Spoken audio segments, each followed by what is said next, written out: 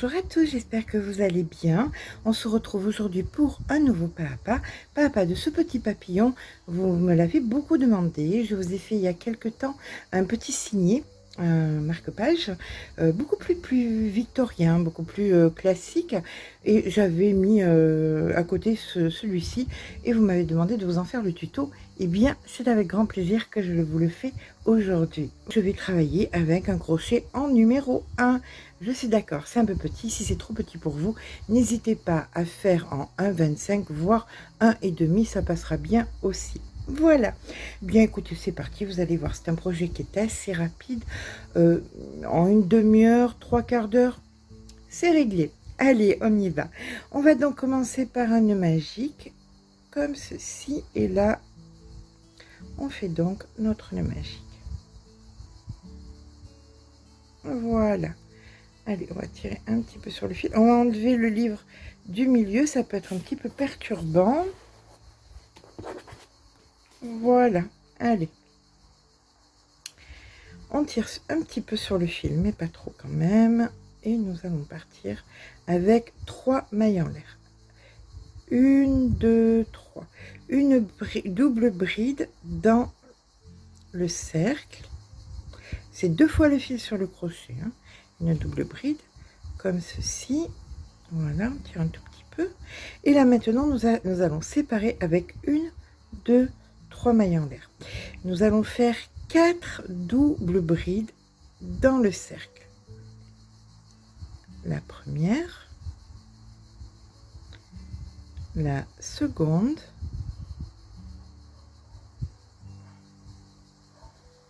la troisième,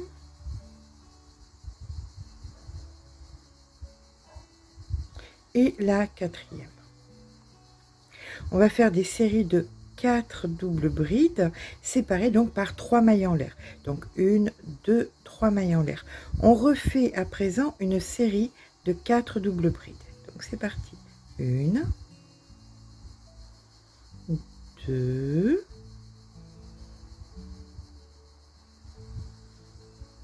trois,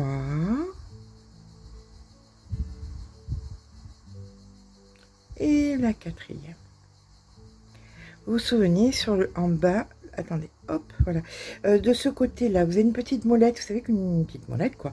Vous pouvez cliquer dessus, il y a vitesse et vous pouvez accélérer ou ralentir la vidéo si vous considérez que je vais trop vite ou pas assez vite, c'est possible aussi. Allez, c'est reparti avec trois mailles en l'air. Une, deux et trois. On refait encore une série de quatre doubles brides. Donc, une,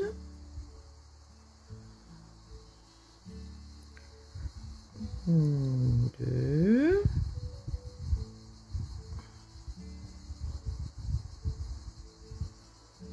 3 et 4. Voilà. Donc, à présent, nous allons venir faire nos trois mailles en l'air. Une, deux, trois et une dernière double bride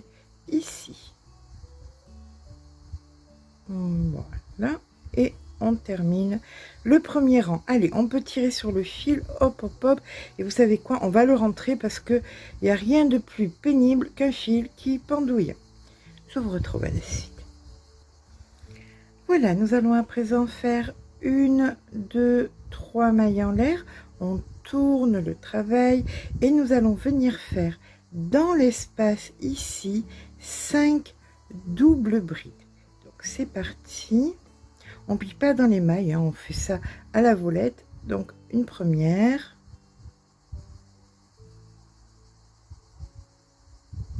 Deux.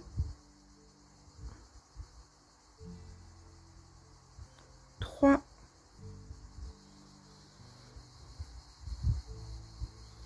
Quatre. Et voici notre cinquième. Voilà. Alors, maintenant, nous allons faire l'intérieur de, de l'aile, du, haut de l'aile, et on fait 10 mailles en l'air. 1, 2, 3, 4, 5, 6, 7, 8, 9 et 10. Et nous faisons maintenant dans le même espace ici, 4 doubles brides. Allez, c'est parti. Une.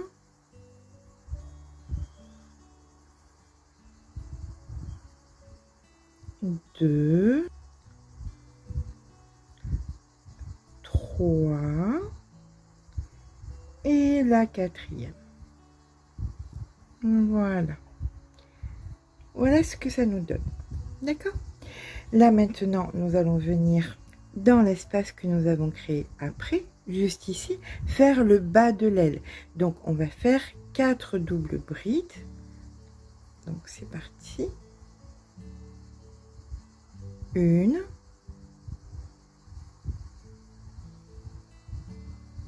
Deux.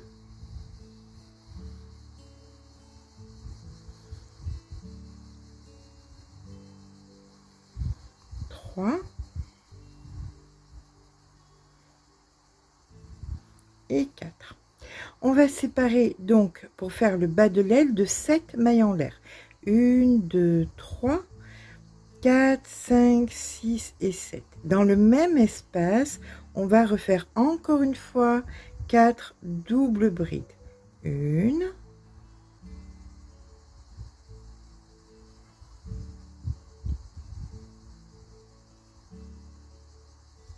2,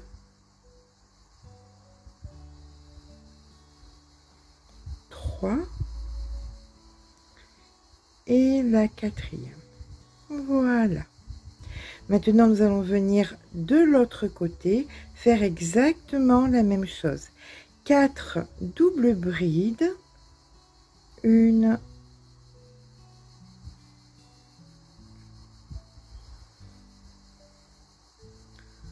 2,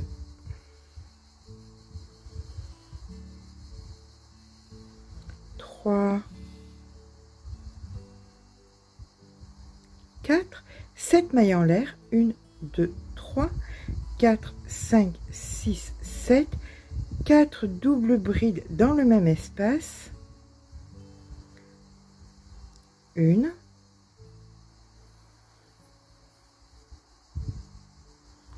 2, 3 et 4. Voilà. Allez, on va passer au haut de l'aile maintenant, de l'autre côté. On refait donc encore une fois 4 doubles brides, mais ici, ce coup-ci. Hein. Donc c'est parti. Une.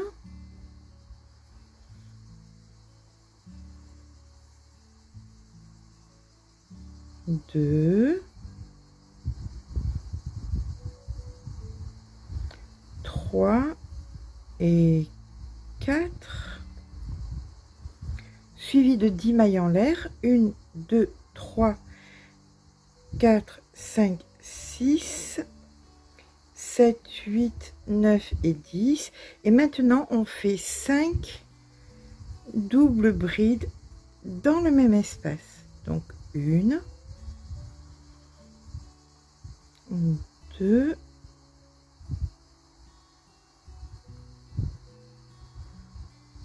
3, 4 et 5.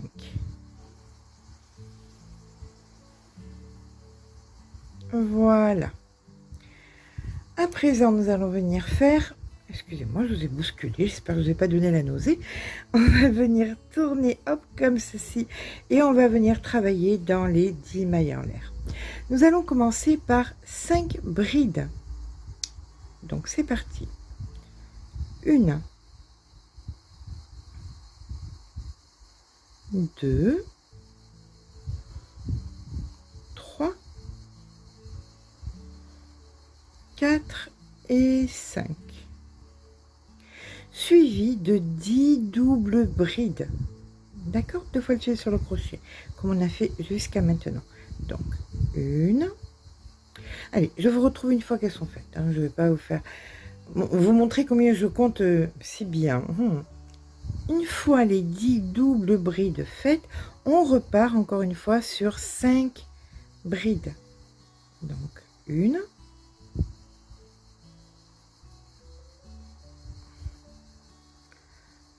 Deux.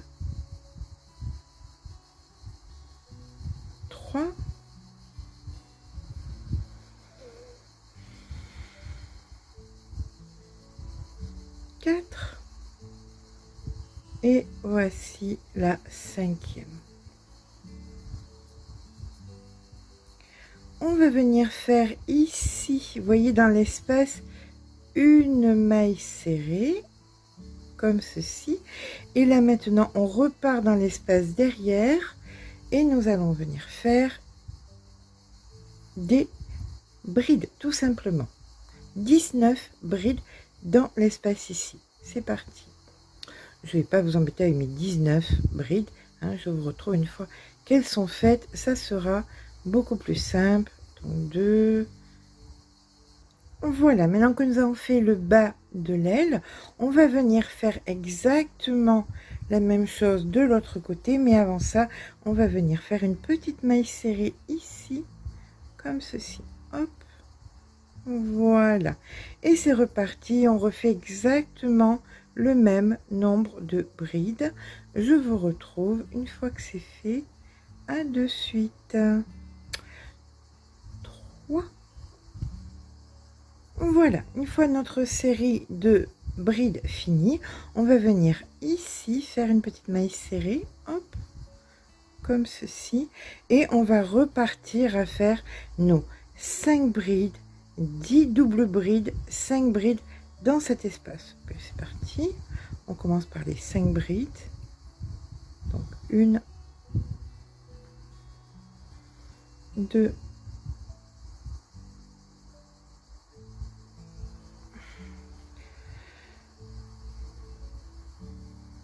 3,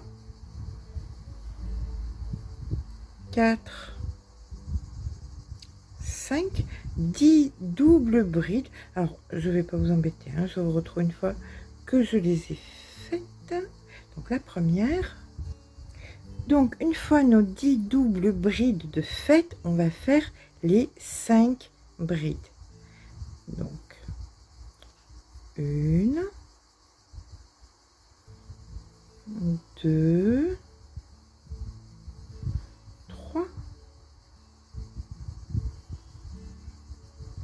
4 et 5. Et voilà. Nos deux ailes sont finies. Allez, c'est parti. Maintenant, on va venir faire... Bah, écoutez, il nous reste trois fois rien, vous allez voir. Quasiment, hein, on va dire. Voilà. On va venir faire dans l'espace ici. Vous voyez, hop, là. Vous le voyez, cet espace nous avons créé là, bien là, nous allons venir faire quatre demi-brides. Allez, on pique ici et on fait la première dans le même espace, la deuxième, la troisième et la quatrième. D'accord? Comme ceci. On vient en faire autant dans cet espace ici, c'est-à-dire ici une première, une. Deuxième, une. Troisième. Et une. Quatrième. on va venir en plein milieu faire une maille serrée. Et là on va partir à faire 10 mailles en l'air. 1 2 3 4 5 6 7 8 9 10 une onzième pour tourner et on vient faire 10 mailles serrées dans les mailles en l'air que nous venons de faire. Donc 1 2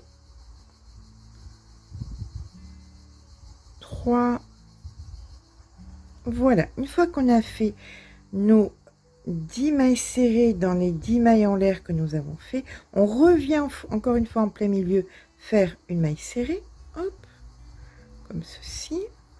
On repart avec 10 mailles en l'air, on refait exactement pareil puisque on va créer la deuxième petite antenne. Hein.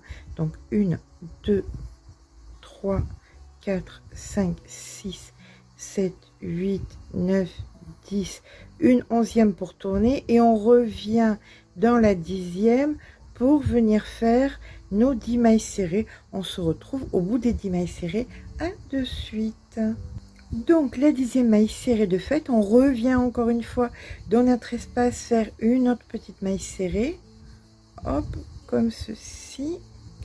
Et là, nous allons, alors vous voyez, prendre la totalité parce que là, hmm, pour faire exactement la même chose, on va venir englober cette partie-ci. Et là, dans l'espace, on vient faire nos quatre, donc une, 2, 3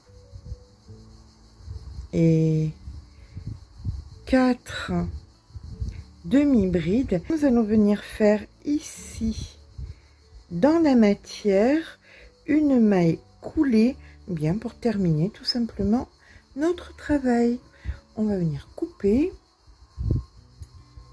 et rentrer le fil et la partie haute du papillon, et eh bien écoutez, est terminée tout simplement.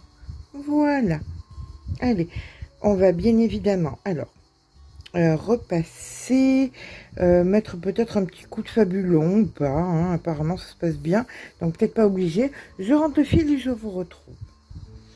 Donc, voici notre petit papillon de terminé. Il ne manque plus qu'à lui rajouter le bout. Alors, pour ça, on va venir ici derrière comme ceci hop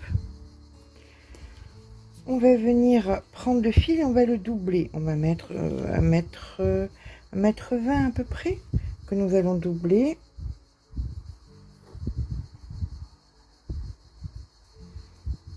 Voilà. Donc on attrape le fil comme ceci. Et là nous travaillons les deux fils ensemble. Comme ceci.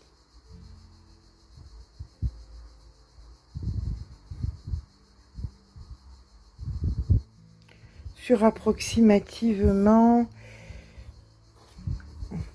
entre 15 et 18 cm. Alors, vous voyez à peu près les livres que vous lisez, si c'est plus des formats de poche, si c'est... Voilà, hein, vous faites à peu près euh, avec... Euh, par rapport à ce dont ce dont vous avez besoin. Alors, je vous retrouve une fois que mes 17 euh, à 18 cm sont finis. Une fois que c'est fait, on tire donc sur la maille pour en faire une ganse. Voilà, bien écarté. On va venir couper le fil à peu près à une vingtaine de centimètres. Et là, nous allons créer le petit pompon. Alors, pour ça, on va prendre euh, quelque chose d'un petit peu large. C'est pas très glamour, mais je vais prendre un, un post-it. Voilà, comme ceci. Et là, on va faire des allers-retours.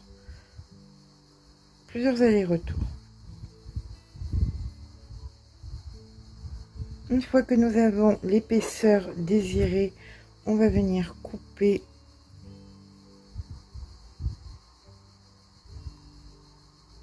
totalité en bas.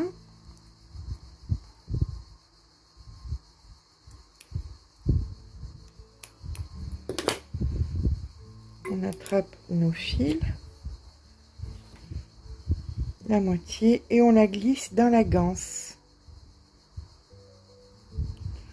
On remet en deux.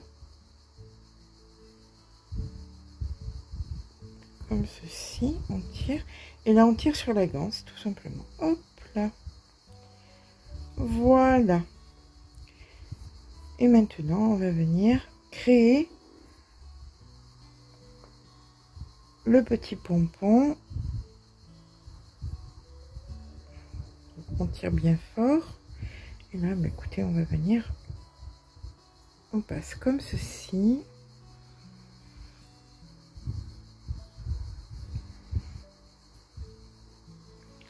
on resserre et là on vient fermer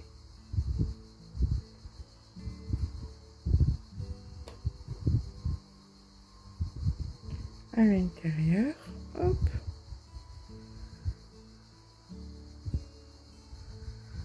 On remet tout correctement pour que ce soit joli quand même. Voilà, et là on tire. Voilà. On va faire quelques petits allers-retours avec un petit nœud de façon à ce que ça tienne bien et qu'on n'ait pas de, de, problème que ça se défasse. Voilà, vous voyez, on va revenir, hop, plusieurs tours ici. Voilà. On récupère celui qui est resté tout seul et on fait un double nœud, double, triple, autant que vous voulez pour sécuriser la chose. Je prends plus de temps pour ce pompon que pour le, papillon à la limite. Hein. Hop. Voilà. Allez, c'est terminé. On le coupe. Hein, parce que, bon, à mon sens, il est un petit peu long. Mais enfin, ça, c'est à vous de voir après. Hein. Voilà. Là, vous tirez sur tous les fils pour que le pompon soit joli. On coupe à la hauteur qu'on veut. Et bien voilà notre petit papillon de terminé. J'espère que ce petit papa vous aura plu. J'espère surtout qu'il vous sera utile. Si c'est le cas, n'hésitez pas à laisser un petit pouce en l'air parce que ça fait toujours plaisir. Mais surtout, abonnez-vous. Je vous fais de gros bisous et je vous dis à très vite.